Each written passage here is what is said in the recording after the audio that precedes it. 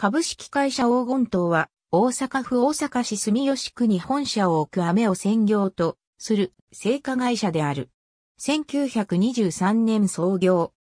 片方がやや細い四角柱形状で透明感のある金色をした飴、黄金島の製造元として知られる。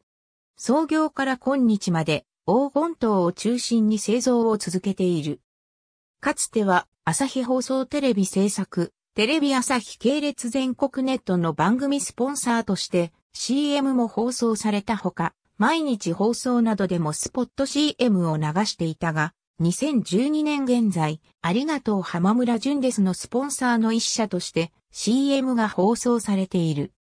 また、2013年には創業90周年を記念して最新のテレビ CM が制作され、MBS テレビ他で放送されている。片方がやや細い四角柱形状という独特の形状は、食べる宝石をイメージしたものであるほか、成形用の型から取り出すのに適した形状であるという実用的な理由もある。黄金糖は発売当初から砂糖と水飴、奈良の天然水のみでの製造を旨とし、奈良県大和郡山市に所在する工場で生産され、続けている。日本国内の流通のみならず、台湾、アメリカ、アジアなどの諸外国にも輸出されている。